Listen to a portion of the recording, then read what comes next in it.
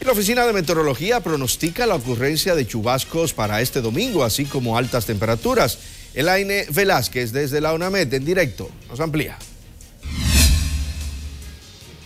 Así es, muy buenas tardes, nos encontramos en la Oficina Nacional de Meteorología con el predictor José Medina que nos estará hablando del tiempo del día de hoy y de los próximos días.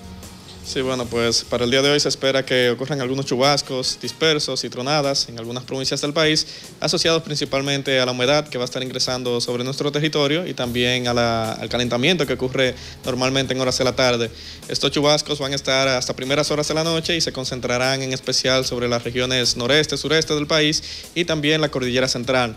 Eh, a partir de la noche de hoy, de la madrugada de hoy, vamos a estar recibiendo la llegada de una onda tropical que va a incrementar de manera significativa la actividad de precipitaciones, en especial para mañana. Esta onda va a estar ocasionando aguaceros con tormentas eléctricas e incluso también ráfagas de viento en ocasiones eh, durante la tarde de mañana y eh, se espera que los mismos estén ocurriendo principalmente hacia provincias próximas a la costa caribeña de nuestro territorio y también la región noreste, así como también la cordillera central y la zona fronteriza. No obstante esto, continuaremos con temperaturas bastante calurosas debido principalmente a la época del año y a la radiación solar que vamos a estar recibiendo durante el día.